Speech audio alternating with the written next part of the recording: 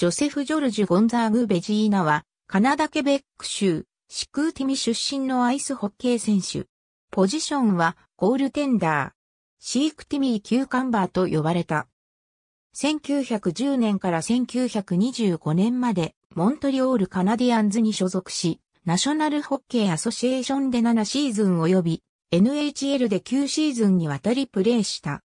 この間レギュラーシーズン327試合及び、プレーオフ39試合に連続出場していたが1925年に病のため試合途中で退場した。結核で1926年3月に死去した。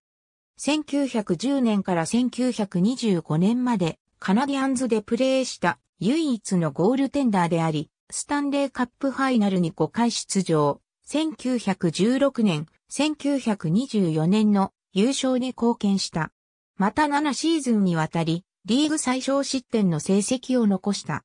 NHL は彼の功績を称えて1926から1927年シーズンよりベジーナ賞を創設した。彼の死後、カナディアンズの監督、レオ・ダンドランドの発言より22人の子供がいると報道されたがこれは移民してきたフランス系カナダ人の子供であったベジーナが、英語が十分に話せなかったためであり、実際の子供は二人であった。